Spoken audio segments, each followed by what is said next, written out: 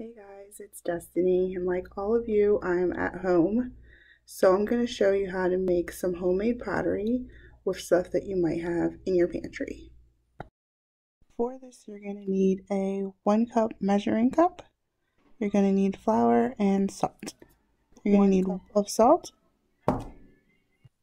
Throw it in a mixing bowl along with two cups of flour.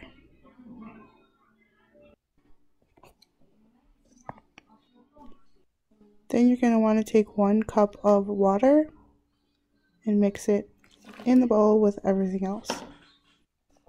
The more you mix it, the smoother the dough will be. If you don't mix it enough, you'll feel the salt and it'll be grainy like this one. You can make it into whatever shape you want. Um, if you have stencils or cutouts, or if you have a tin muffin pan like this one, you can just put the dough around it to make it like a cup shape. If you have stencils, you can cut shapes out of it or just mold it with your hands.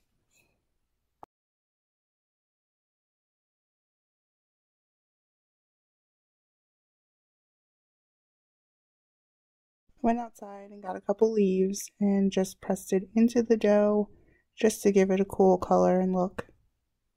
You can make little circles out of it.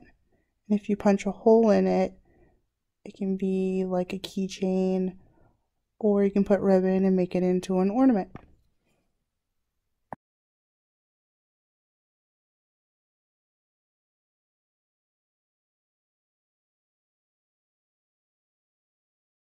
So one thing I forgot to mention was um, if you want the dough to be a color, you can add food coloring when you're making it.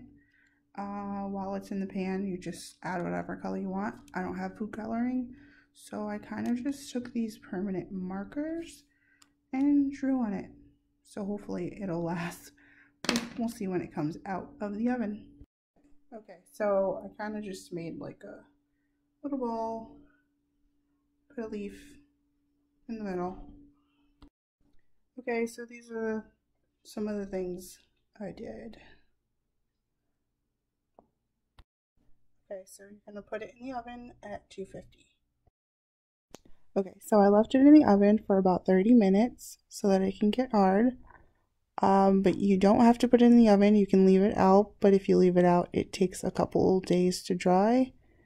Um, as you can see, some of it is darker than the others, so that just means that those parts are not dry yet. So this is how it came out of the oven. You can see.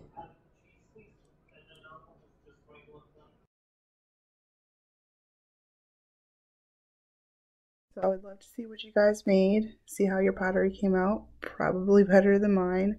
So uh, I would love if you guys send me a picture or a video